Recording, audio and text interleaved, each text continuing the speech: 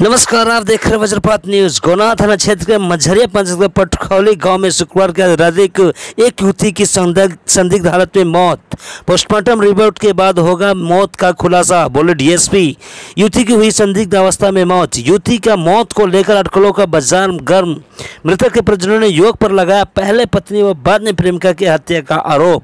गोनाहा जमुनिया से धनेश्वर कुमार की रिपोर्ट। गोनाहा थाना क्षेत्र के मझरिया पंचायत के पटखोली गाँव में शुक्रवार की रात्रि में एक युवती की मौत को लेकर गाँव में अटकलों का बाज़ार गर्म है।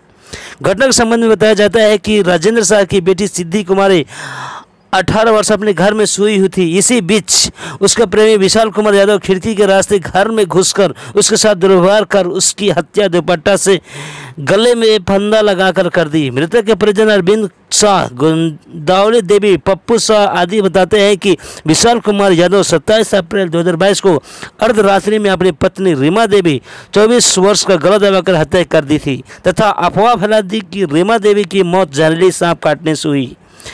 इस घटना को लेकर रीमा देवी के भाई अभिषेक यादव ने गौनाहा थाने में विशाल यादव, उसके पिता सुरेश यादव माता रीता देवी, ललिता देवी तथा विपिन यादव पर दहेज नहीं देने के कारण बहन की हत्या करने का आरोप लगाया है।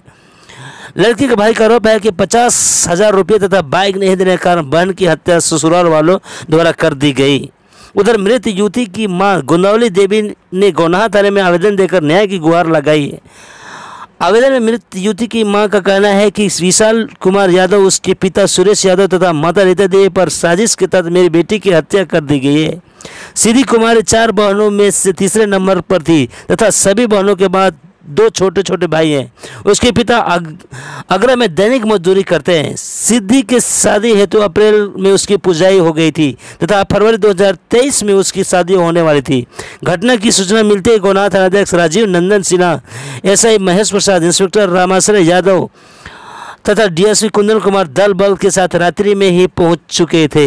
इधर पुलिस प्रशासन व डीएसपी का कहना है कि पोस्टमार्टम रिपोर्ट आने के बाद ही मामले का खुलासा होगा कि यह हत्या है या आत्महत्या।